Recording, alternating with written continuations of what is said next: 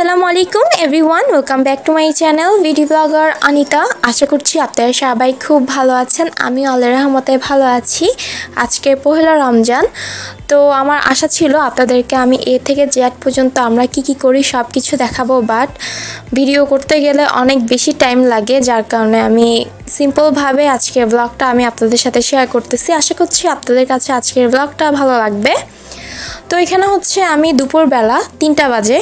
তো এখন হচ্ছে আমি শরবত তৈরি করতেছি ইফতারির জন্য। ইফতারি তৈরি করতেছে রান্নাঘরে। তো রান্নাঘরে পরে যাব, আগে শরবতটা তৈরি করে নিই। কারণ কি শরবতটা তৈরি না করলে শরবতটা ফ্রিজে রাখলে বেশি ঠান্ডা হবে না। তো যাই হোক, এটা আমি হচ্ছে অরেঞ্জের শরবত তৈরি করতেছি। সাথে আমি তৈরি করব হচ্ছে লেমন মিন্ট। ওটার রেসিপি আজকে আপনাদের সাথে শেয়ার করব। তো অরেঞ্জের শরবতটা হয়ে গেছে। এখন এটাকে একটা বোতলের মধ্যে ভরে ফ্রিজে রেখে দিব।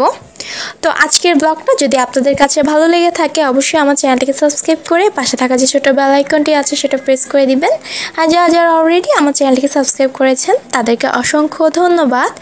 এখন হচ্ছে আমি লেমন মিন্ট তৈরি করব, সেজন্য এখানে আমি লেবুর রস নিয়েছি, পুদিনা পাতা নিয়েছি, সাথে নিয়েছি হচ্ছে চিনি।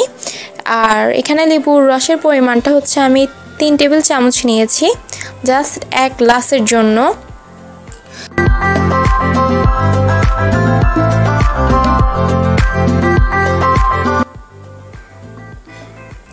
আর এখন দিচ্ছি পুদিনা পাতা চিনি দেওয়ার পরে। আর এর মধ্যে দিয়ে দিব পানি।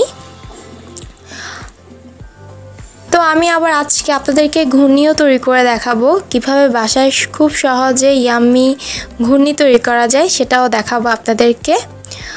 তো পানি দেওয়ার পরে এটাকে আমি ব্লেন্ড করে নিব।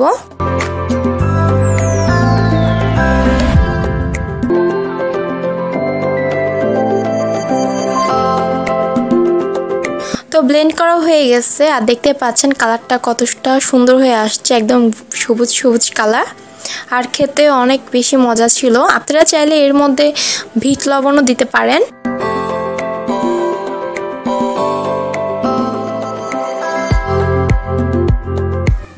শরবত তৈরি করার পরে আমি এখন হচ্ছে ঘূর্ণি তৈরি করতেছি। আমরা প্রত্যেকটা রোজায়, তিরিশটা রোজায় ঘূর্ণি খেয়ে থাকি। আমাদের ঘূর্ণি অনেক পছন্দ।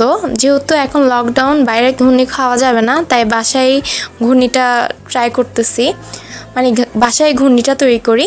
তো এখানে হচ্ছে আমি ঘূর্ণির জন্য চটপটির যে বুটটা, সেটা নিয়েছি। চটপটির যে ডালটা ওটা নিছি। সাথে নিয়েছি পেঁয়াজ, পুদিনা পাতা, ধনিয়া পাতা, ধনিয়া গুঁড়া জিরা গুঁড়া, গরম মশলা চপটি মশলা আর হচ্ছে লবণ। এরপরে এগুলোকে আমি ভালোভাবে মিশিয়ে নিব। আর এই ঘূর্ণিটা খেতে অসম্ভব মজা। আপনারা অবশ্যই ঘূর্ণিটা বাসায় খেয়ে দেখবেন। আশা করছি আপনাদের কাছে ভালো লাগবে। আর আপনাদের রমজানটা কেমন কেটেছে অবশ্যই আমাকে কমেন্ট বক্সে কমেন্ট করে জানাবেন। আলহামদুলিল্লাহ আমাদের প্রথম রমজান তো ভালোই কেটেছে। তো এখন হচ্ছে আমি রান্নাঘরে চলে আসছি আর আম্মুকে দেখতেছে। আম্মু পেঁয়াজু তৈরি করতেছে।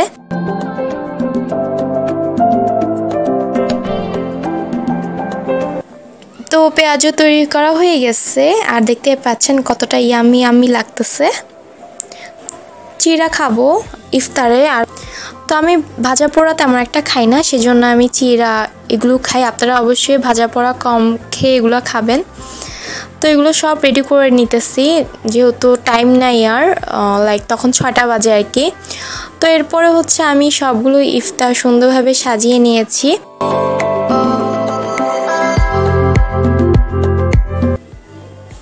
এখানে ছিল ঘূর্ণি, তারপর হচ্ছে মালটা, ছোলা ভুনা, আলুর চপ, পেঁয়াজু, বেগুনি, তারপর হচ্ছে মরিচের পাকোড়া, তারপর শশা তারপর হচ্ছে খেজুর, আর ওগুলো তো ছিলই।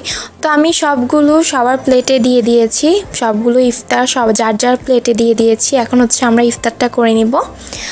তো কালকে আমি হচ্ছে পয়লা বৈশাখের একটা ব্লগ দিব। আশা করছি আপনারা সেটা দেখে নেবেন।